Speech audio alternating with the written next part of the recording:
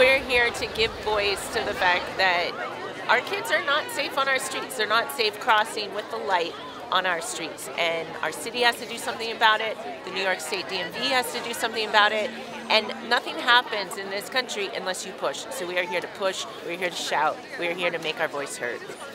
I'm here to say, like, we've just had enough. We've had enough of putting a few people's privileges above everyone else's.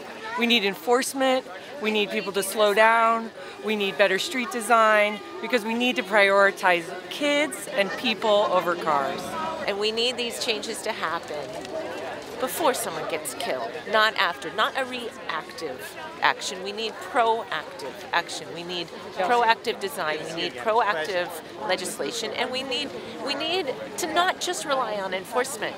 We can rely on tech and data. We have the information. We have the ability yeah. to stop reckless drivers before they go out and kill somebody. Yeah, I think one of the things that even someone like I actually pay a lot of attention to this, and I was stunned to see that this particular driver had so many infractions, and that there's no system to deal with that. It seems like such a breach of of the system, such a breach of our trust, like, if you're going to give people infractions, then act on them and get these drivers off the street who don't deserve to be driving.